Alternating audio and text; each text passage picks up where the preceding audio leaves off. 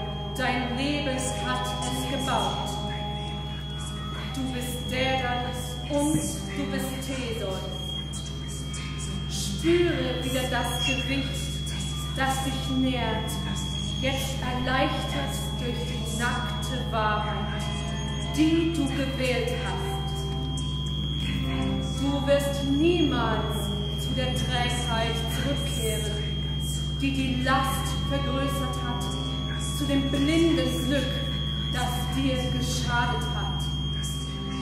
Du wirst in der Akzeptanz deines Labyrinths leben, in dem Schmerz und der Hoffnung deines Labyrinths. Du wirst in der Wahrheit leben.